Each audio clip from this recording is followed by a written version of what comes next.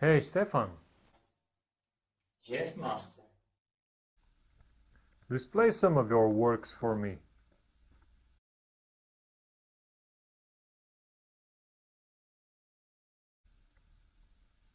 Yep, just as I thought. You have enough teachers already. Stefan, I'm out of here. You take over. What do you mean, master? From now on, you'll be teaching yourself. Wait, I can't do it without your guidance. Don't put me on a pedestal. Do you think it's easy for me to wear this stupid makeup just so you can pretend that I'm not a part of your imagination? I'm not ready yet. Maybe this will convince you. No, don't destroy the image of the master.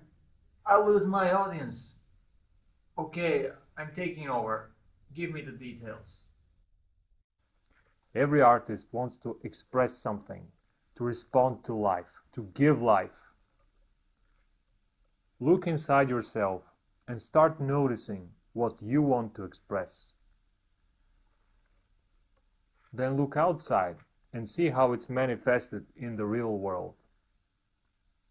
You'll want to paint that.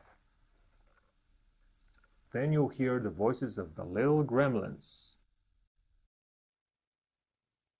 I don't have time. It's too hard. Even if I succeed, I can't replicate it. Somebody might not like it. I don't know how. This spot is not convenient for painting. I'm not ready. I don't have the skills. This has been done before. I've never done this before. I waste my art supplies. This won't pay my bills. I'll do it later. I'll ruin it and I'll be angry. Whenever you hear an excuse in your mind or imagine some sort of failure, accept that it's there in your mind. But don't listen to what it says.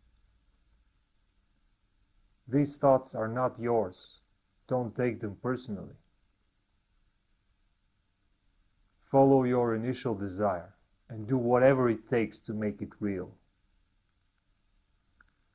Explore, reveal to yourself and to the good people out there how it's done. Teach what you need to learn.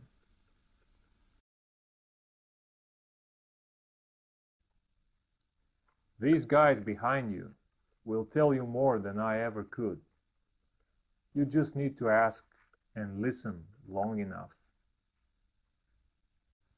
Don't worry, I'll still be visiting you. Every old master will be with you. Thank you, master. Have fun and steal the show.